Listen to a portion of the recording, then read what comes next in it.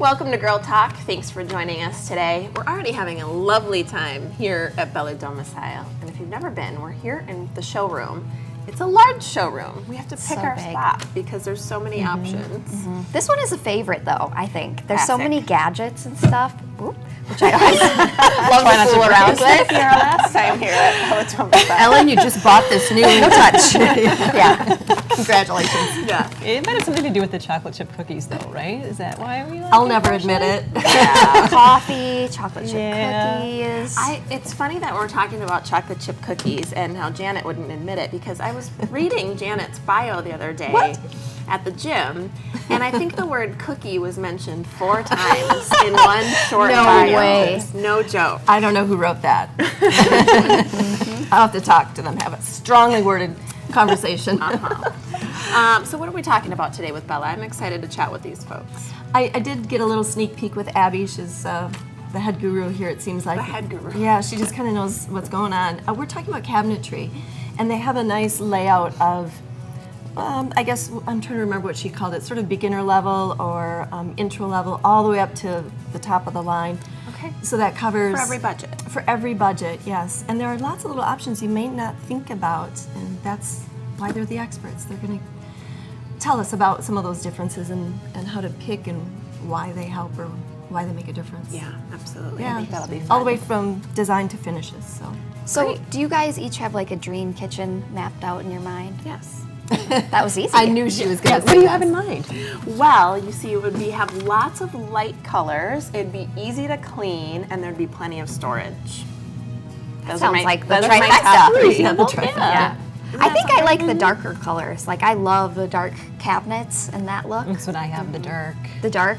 I really like. I think I like the dark or the white. I think the mm-hmm. white, yeah. I like the Maybe it's because I have dark. You know, the Oh, that heart wants be. what it doesn't have, right? Yeah. Right. You have straight hair, you want curly, and vice Mm-hmm. versa. We're not talking about hair. We're talking about cabinetry, but we're also talking about some other great topics today. Uh, we're going to learn a little bit about a company called Integration Bodywork, and I had the chance to catch up with Scott before today and learn a little bit myself. It's fascinating. You're going to want to learn about it because there's we're talking really about holistic healthcare is sort of the big picture and how he specifically uh, this company specifically can help you if you're struggling with some pain management issues maybe thinking you might need to have surgery there might be another solution for you so we're going to learn about that today I'm. Awesome. Have you guys had massages before? Oh yes, mm-hmm. yeah. Not really nearly to enough. fix anything, but just like sometimes for my birthday, I'll just get one just It just feels so great. yeah. You just always feel better when you leave. And supposedly it's really good for you, like releases toxins or something. I want to know why it doesn't work when you try it yourself. This Right? just is not, it's not happening. Oh, Especially if you try to like rub your own feet. That's one where I'm like, no, somebody else needs to do this. Absolutely. just picturing ellen at home rubbing her own feet with her cat jumping on her That's probably pretty this is, you accurate. painted this mm-hmm. photo Yeah, for me yeah. You. Great, we need to move on. Well, on a lighter note, we are talking about going braless this summer. So well, stick around for that. we're actually going to try it out. So definitely. Uh, you know, I'm not even going to tell you what it is. You're going to have to find out. So I think that'll be a fun topic. Here's a tip we have two Bellas in this episode. Ah. Ooh, good hmm. teaser. All right. So yeah, we're gonna have a fun day today, a fun summer. I'm excited about this whole season. We have some really great folks coming on our show this season, so I hope you stay with us all summer long. But uh, I think it'll be a really great show. Can't wait. As always. Yeah, one of our friends is coming up after the break. Again, we're not telling you who, so stick around and we'll tell you how to go braless after this.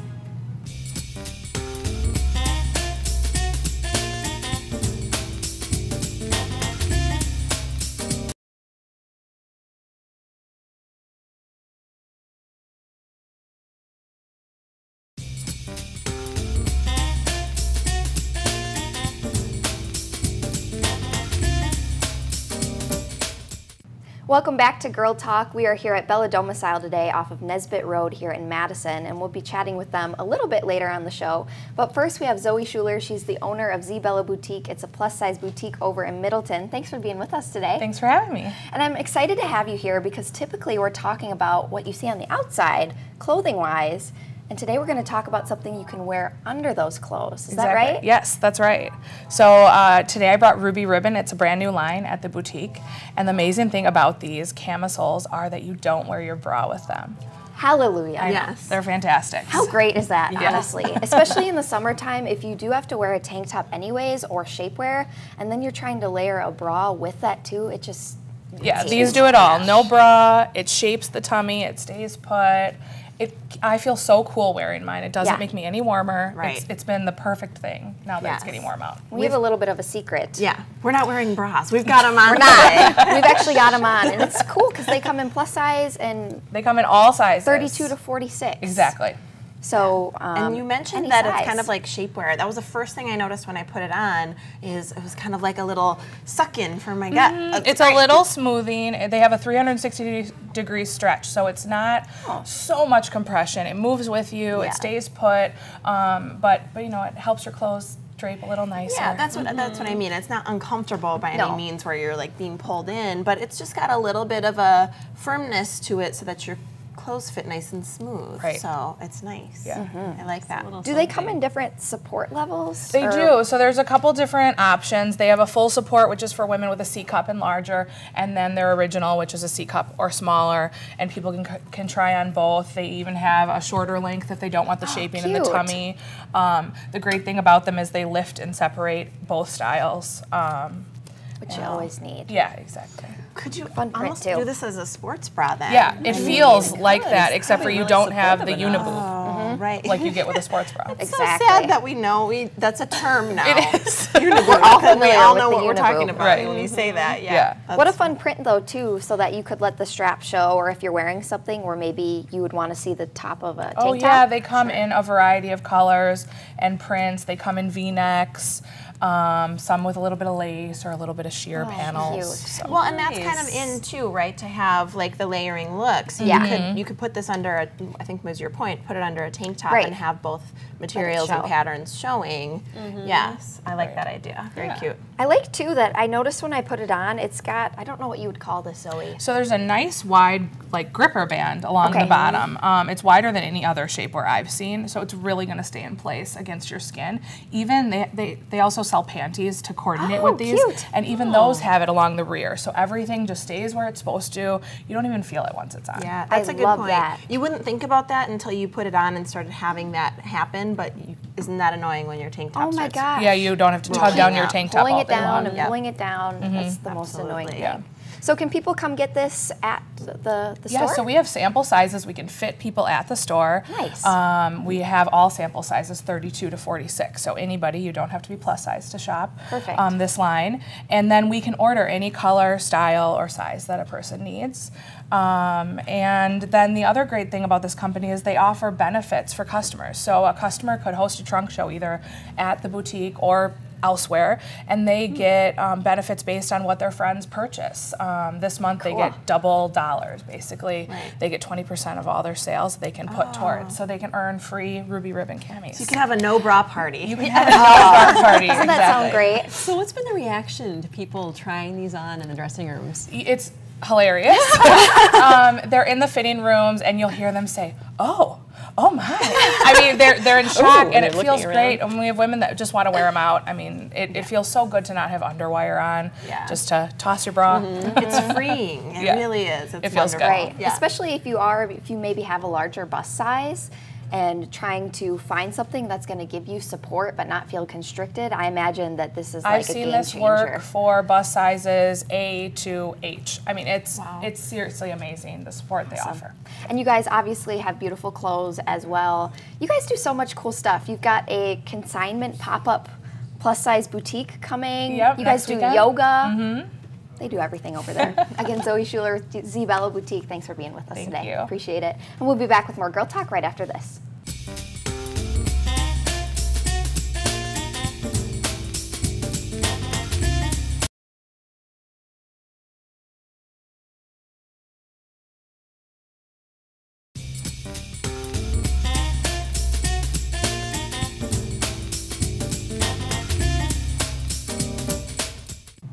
And welcome back to Girl Talk. We're filming today at Bella Domicile out in Fitchburg. We're going to learn about cabinetry today, drawers, finishes, things like that, what to look for, and get to see the, the whole range, um, the spectrum, I guess, budget-wise as well. So that'll be really interesting. But right now, would you like to move better, feel better, and live better? Our next guest is here to help you. This is Scott Robison, and he's with Integration Bodywork. Thanks for joining us today, Scott. Thanks for having me. Scott is the owner and is a licensed massage therapist, so we're being extra nice to him today. Scott, who comes to see you for massage therapy? Sure. Uh, we see a lot of athletes. Um, I know Megan is uh, was working out of a uh, CrossFit gym in Milwaukee for the last three years before she joined me. I've had my uh, CrossFit Level One certificate for the last six years, so that's a really that's a real area of specialization. But you know, we, we sponsor Leah Schneeberger, who's a professional mountain bike racer here in town, so we see a lot of cyclists. Um, a lot of athletes in different of different sorts, and you know professionals and small business owners who are serious about their health and wellness. Well, you're going to be extra busy with the CrossFit Games coming, huh? That's the idea. yeah, that's the hope. So it sounds like you're working with a lot of athletes and people that are probably doing this regularly. But Sure.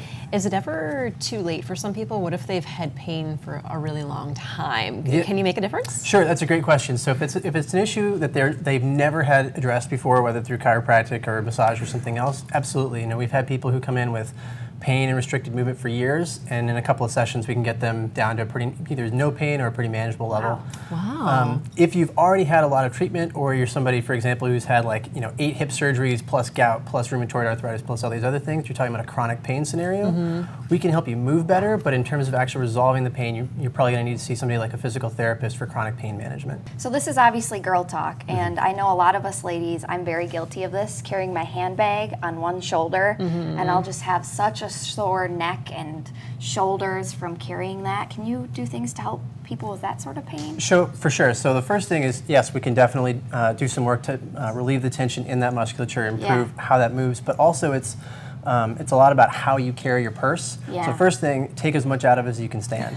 Right? If you, I know, like, Not the right answer. I know it's not the right answer. No, and now get especially, serious. And especially if you're a mom, right? You're like, yes, I have to have everything all the time, and that if you if you haven't used it in a month, you can probably Yeah. take it out, right? See, I'm one of the people who like prepares for every situation, and I have it sectioned Right. off. And And the rest of us like that because then we can Because just then we know that. Yeah, yeah, exactly.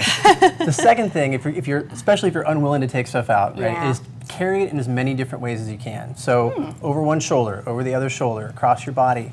Just carry it down by your side. If you have teenagers that you want to embarrass, carry it overhead for a while, right? As many different ways as you can carry it is the most effective way to reduce, right, that stress on the shoulder and neck. it's good tips. Yeah. Awesome. Scott, let's talk about um, actually getting the massage. I know I'm the kind of person that really likes a lot of pressure. I feel Sure. like otherwise it's just like, oh, this is kind of nice, but it's not helping me. Right. Do you need to feel pain, I guess, in order for it to be effective? Yeah, definitely not. So what we understand now through uh, research on, on manual therapy and how it works is that there's no structural change taking place. We're not moving the blood around. We're not stretching fascia or tissue or anything like that. It's 100%, or well, almost exclusively a neurological response. So if you're like flapping an arm to right take your attention away from your neck, or if you have to go find your Lamaze breathing techniques, like it's way too much, we need to back down. But it's up to you to tell us like what it feels like, because I don't know what it feels like inside your body. Right. Oh, interesting. Good to know because Yeah. it's the opposite of what a lot of people think. Right. So you must have some great success stories that you're really proud of. Yeah, let's see. Uh, the first one that comes to mind is uh, a healthcare professional I was working with recently. She had a lot of shoulder pain. You know, it was, it was job related, so she was really worried. She's young. You know, maybe how am I going to make a career out of this? And it turns out we were able to get that down to a pretty manageable level. And I saw her again after just one session, and that even wasn't her biggest issue anymore. She had to she had something else we needed to work on. So I was pretty pretty excited about that for her. All right. Well, Scott, thank you. It's been great talking to you. Wish we had more time. This is Scott Robinson, and he is with Integration Bodywork. They're on Hill Street, which is over by Whole Foods on the west side. Awesome. We're at Bella Domicile. We'll be right back.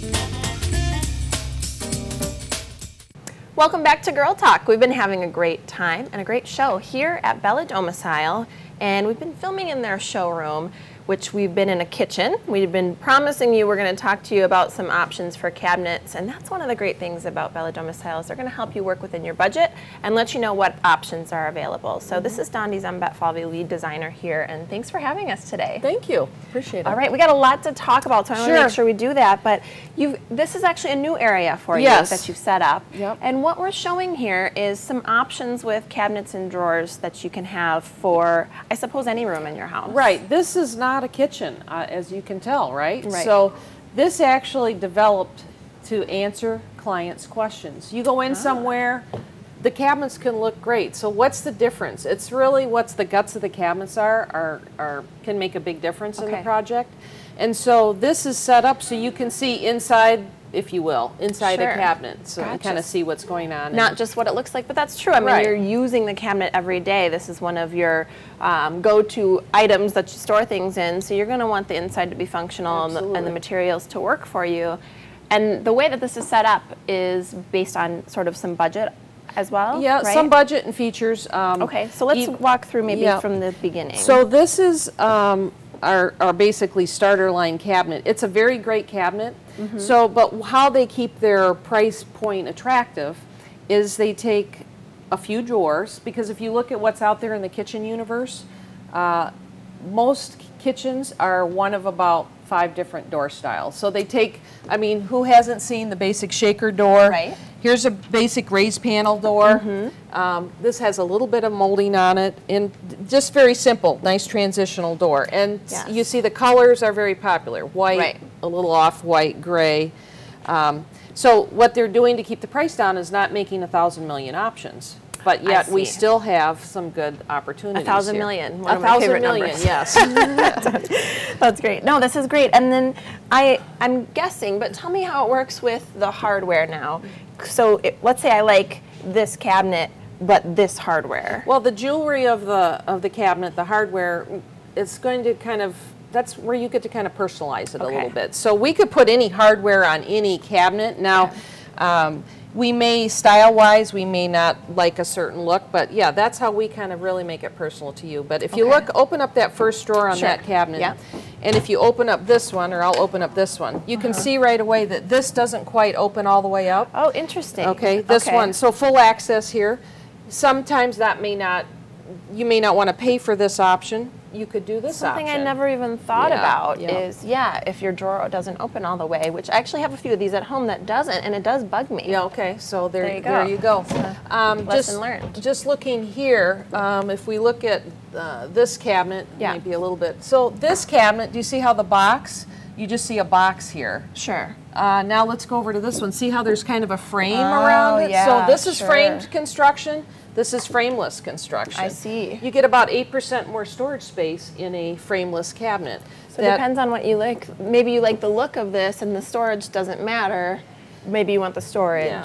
So That's sometimes people are in a kitchen, we can't really expand their footprint anymore, but we could give them more storage space by going from a frame cabinet to a frameless cabinet. Isn't that interesting? Those little details that you might not think about. I Now- certainly wouldn't. Now, how about this one? Maybe you don't want to have any hardware showing on your on your cabinet. Yeah, that's so a nice, pretty, open, clean look. Open, open Okay. that up. So do you see what's Oh, wow. the way the cabinet is built? Is this is recessed, so when you move this open, Oh, uh, you, w- that you was pull easy. the door. Yeah, Mhm. sure. Nice and easy. Let me pull this one open again. So another difference is the thickness of the shelves.